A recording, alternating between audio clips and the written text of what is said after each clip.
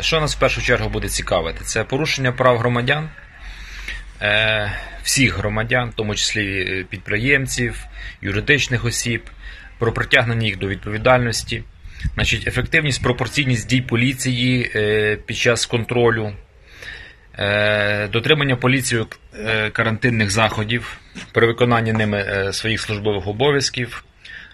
Моніторимо також права затриманих, які будуть перебувати в відділках поліції, е, в ізоляторах тимчасового тримання.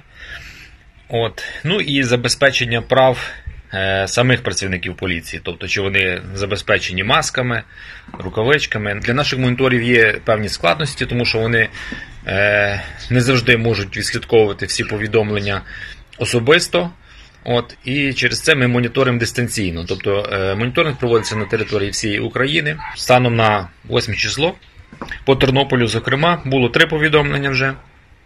Ми з ними працюємо, ми їх зафіксували. Е, Працюємо з людьми Е, по території України. Кількість більша. Ми фіксуємо будь-які дії, тобто навіть повідомлення в соцмережах від людей, повідомлення на сайтах, повідомленнях на офіційних сторінках е, органів правопорядку. Моніторинг проводиться по всій території України. Це не лише там Тернопільська область. От, як наслідок буде нами написаний звіт про цей моніторинг. Ми будемо давати рекомендації працівникам поліції по закінченню моніторингу. От. Значить, метою не є надання юридичної підтримки громадянам. От, тобто якусь консультацію елементарно, що куди звертатися, ми можемо, звичайно, надати.